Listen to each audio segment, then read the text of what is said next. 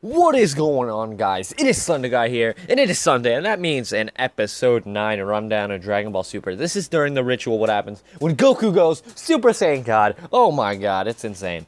Basically, what happens in this episode is one thing Goku transforms into a Super Saiyan God. He summons Shenron, finds out what he needs to do. Shenron's like, You need six, uh, well, not six, you need five Saiyans with righteous hearts.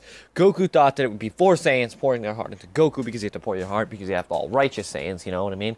Right? So, basically what happens here is uh, I skipped into it a little bit so you can see Goku as a Super Saiyan God, but um, you know it's really cool, really well done.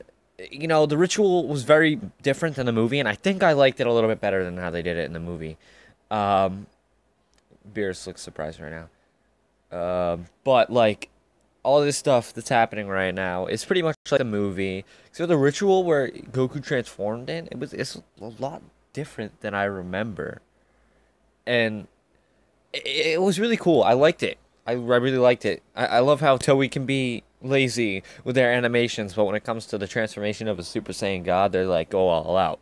It was really cool, and if you haven't seen it already, I advise you check it out if you're a big Dragon Ball fan.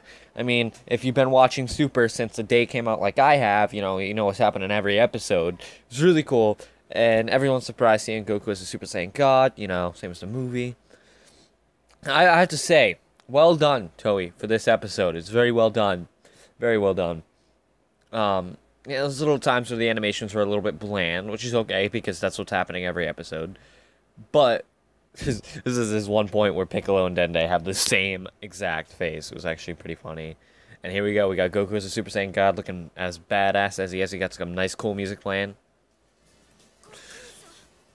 You know what I mean? So that's basically what happened in this episode. Really nothing much. Last last week was a little bigger of a concept. A lot of things happened, but there's only one thing that happened this episode, and it was really cool. I loved it, and I can't wait till next week's episode. Next week's episode is going to be awesome. Um, I will see you guys in the next episode of Dragon Ball Super Rundown. Thank you guys so much for watching.